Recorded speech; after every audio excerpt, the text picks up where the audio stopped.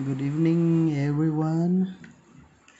Uh, today walang magawa sa buhay kaya i-share ko yung mga tips, yung mga kailangan natin pag nagtra-travel. Eh, mga initiative lang to para hindi hassle. Ngayon, usually pag nagtra-travel tayo, eh, dala-dala natin mga gadgets, lahat-lahat. So, kailangan natin i-charge while on travel kasi minsan inaabutan tayo ng low bat. Minsan din, pati yung power bank, nauubos rin yung ano, nakastore na energy kakagamit. So, kahit magpunta tayo ng airport, terminals, pier, lahat-lahat, eh, hindi lang naman ikaw yung gagamit. So, most of the time, palaging may naka-plug sa mga free charging station. So, yung ginawa ko, gumawa ko ng sarili kong extension wire na na kayang i-plug lahat most ng gadget ko tapos hindi siya bulky. Sarili ko tong gawa so hindi ko alam kung ano to pero so far safe naman. Ito yun. See? Yan maxi lang siya. So pag nagta-travel ako bit-bit ko to. Kasi itong wire yan, plug lang direkta sa outlet. Tapos plug ko na lahat. Apat to. Kasama dito.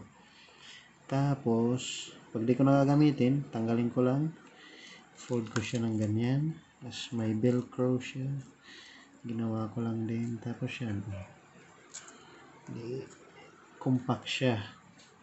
Diba? Ito nilagyan ko lang ng electrical tape. So, pwede nyo naman din nalagyan. Uh, drinamahan ko lang para medyo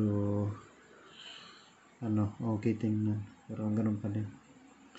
So, yan. So, kung konti lang naman i-charge mo, makakalibre ka pa ng, makakashare ka pa sa ibang, ano, traveler din.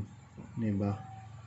So, ingat-ingat lang din kasi kailan bantayan mo mamaya, naka-plug lahat ng gadget mo kasi syempre, i-plug mo pa rin to sa sa outlet ng ter kung saan ka mang terminal tumatambay So, ingat lang kasi nakaplug lahat ng gadgets mo. So, pag may masasamang loob, eh, isang pick up lang din, eh, ubus lahat ng uh, gadgets mo. So, kailangan din bantayan mo yung gamit mo while nagcha-charge.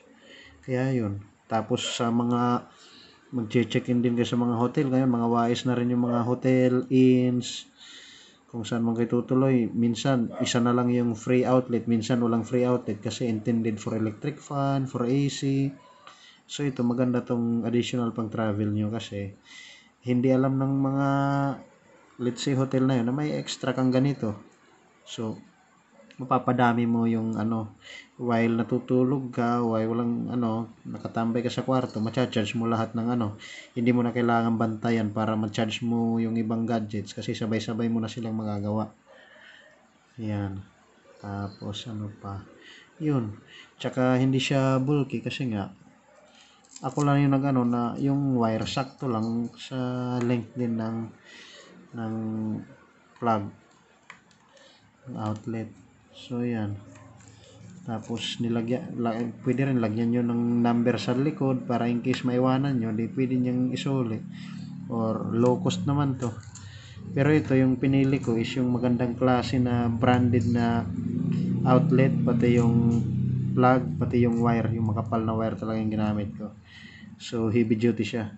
Hindi naman siya yung talagang masusunog or what kasi ipla-plug naman naman ito mga gadgets lang eh. Pero make sure kung gagawa kayo ng sarili nyo make sure may knowledge kayo sa electrical. Kung wala naman magpatulong kayo sa for sure may isa sa pamilya nyo marunong gumawa may kahit konting kalaman sa electricity. Pero kung wala talaga pagawa kayo sa electrician. Saglit lang to, hindi abutin ng 20 minutes. Malayo na yung 20 minutes, basta andyan na yung, mat, yung mga uh, materialis na gagamitin. Mas mura pa siya kumpara, kumpara bibili ka ng gawa na, tapos iyon, bulky pa yon Ito, maano mo kung ilang, kung gaano kahaba ng wire yung gusto mong gamitin. Ito, sinadya ko siya kasi para hindi siya bulky. Tapos, pagka-plug mo naman sa out, sang outlet, eh, hanap ka na lang ng upuan, kung sa hotel, or sa mga terminals, may top, countertop naman yan. Doon mo lang ipapatong. Yun. Kaya, very useful siya. Ayan.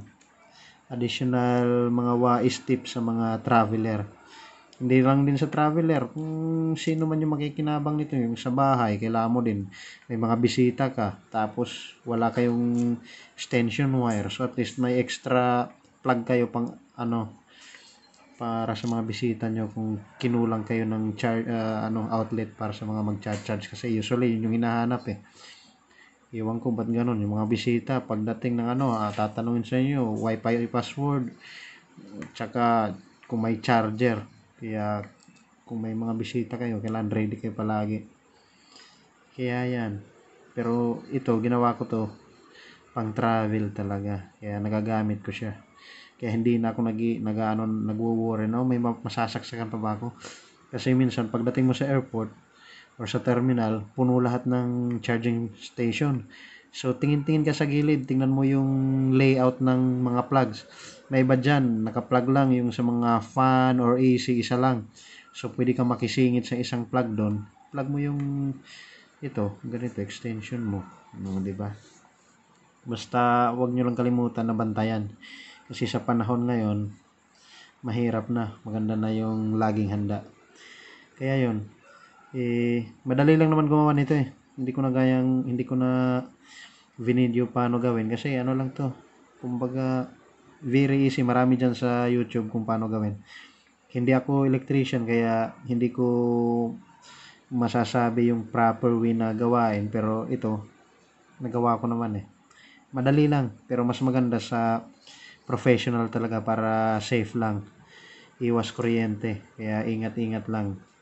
Kaya sa mga bata dyan, teenager na walang knowledge, huwag kayong basta-bastang gagawa ng ganito.